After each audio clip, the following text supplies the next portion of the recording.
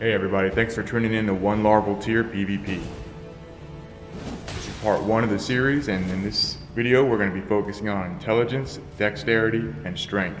So if you have a lot of weapons that scale with these attributes, this is going to be a good video for you. I went ahead and sampled all the weapons that natively scale with intelligence, dexterity, and strength in Elden Ring. And I picked the weapons that work the best in PvP, and I made builds around those. We all know that larval tears are a limited resource in Elden Ring.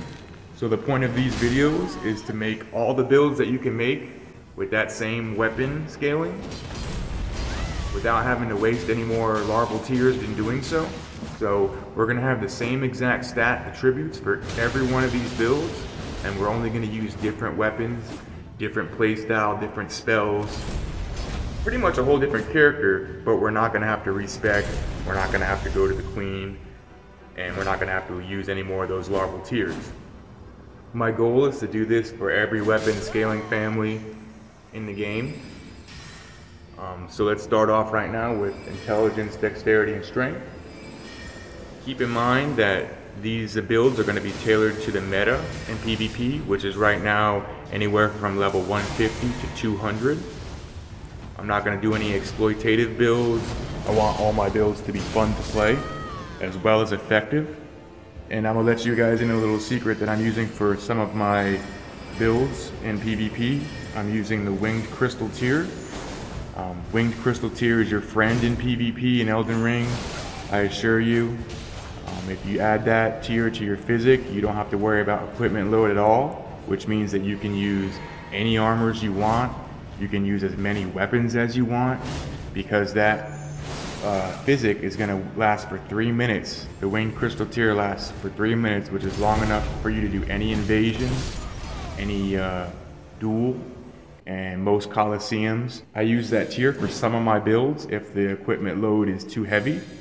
If not, I'll use the Opaline uh, Crystal tear, which gives me more armor, or I'll use the Crimson Whirl or the Crimson Bubble tear, which gives you health when your HP gets low. It effectively gives you a decent amount of health um, added to your maximum health. All those tears are very good for PvP, and you should always be using your physick in PvP. For all six of these builds, I'm making a written guide below in the description so if you guys want to head down there, you can check out in-depth guide, all the details of the weapons, all the details of the spell.